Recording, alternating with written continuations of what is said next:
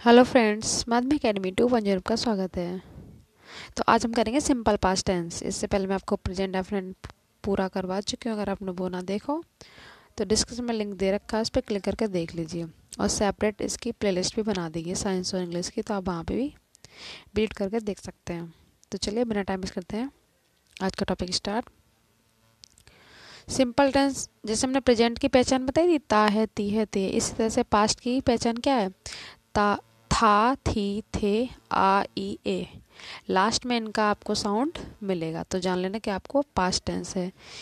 Past क्या होता है? जो हमारा निकल गया टाइम क्लियर तो इसके सिंपल सेंटेंस में क्या होता है? चाहे वो सिंगुलर हो या प्लूरल हो, आपको क्या लगाना है? वर्ब की सेकंड फॉर्म यूज़ करनी है। हमेशा टेंसों में एक बचन बहुवचन में अलग अलग यूज़ होता है ना वर्ब हेल्पिंग बट इसमें ऐसा नहीं है, बहुत सिंपल होता है। चाहे सिंगुलर हो, चाहे प्लूरल हो, आपको सेकंड फॉर्म ही लगानी है। कब? सिंपल सेंटेंस में। अगर नहीं आ जाएगा तो उसका रूल चेंज हो जाएगा। वो हम करेंगे नेक्स्ट वाले पार्ट में। इसमें के बाद सिंपल देख लेते हैं सारे, जिससे आपको एक ही बार में माइंड में फिट हो जाए। तो हमारा फ़र्स्ट टेंस है वह कल बाज़ार गया था तो वह ही गया था, तभी तो वह कल है अब देखो था, आ गया ना इससे? गया आ का साउंड भी आ रहा था भी आ रहा है। तो ही वेंट टू मार्केट बीता हुआ कल तो क्या ले लेंगे यस्टरडे क्लियर इस तरह से करते जाते हैं। बहुत सिंपल है ये। आप इससे पास्ट में जो भी आपने काम किया, हज़ारों वर्ड बना सकते हैं। आप डेली का रूटीन भी ऐसे बना सकते हैं कि आपने जो जो किया, सुबह से लेकर शाम तक, ऐसे। मैंने ताजमहल देखा।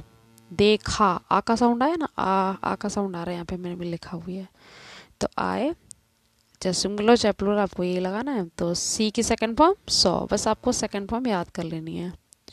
जो मेन मेन होती है, go, went, gone, sing, sang sang, write, rode, written, eat, ate, eaten. जो मेन होती हैं, वो आप लर्न कर लीजिए। ताजमहल का ताजमहल ही आ जाएगा। क्लियर इस तरह से सिंपल बनाते जाते हैं। नेक्स्ट है शिकारी ने जंगल में शेर का शिकार किया था। तो शिकारी को हंटर कहते हैं द हंटर सेकंड फॉर्म लेनी है तो हंट हंट मतलब शिकार करना। तो हंटेड काकी के लिए मैं आपको बता ही चुकी हूँ ऑफ़ लगाते हैं।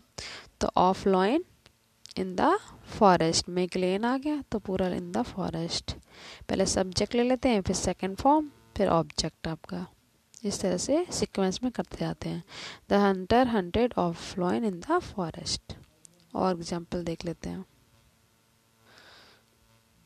नेक्स्ट देखो, बच्चों ने अपना काम किया।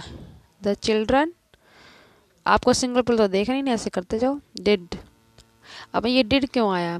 क्योंकि करने की डू की सेकंड फॉर्म क्या होती है? डिड थर्ड होती है डन तो द चिल्ड्रन डिड देयर अपने के लिए देयर लगाए, क्योंकि यहाँ पे बहुत सारे बच्चों की बात हो गई है। ठीक है?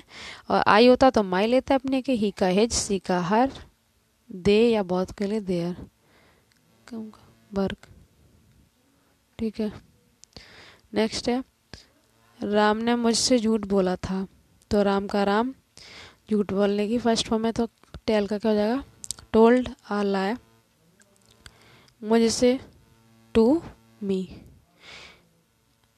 इस तरह से बना लेते हैं।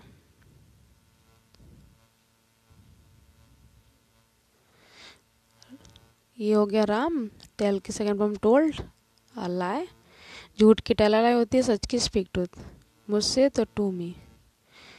सिक्स है ये आपको मैंने होमवर्क में दिए हैं।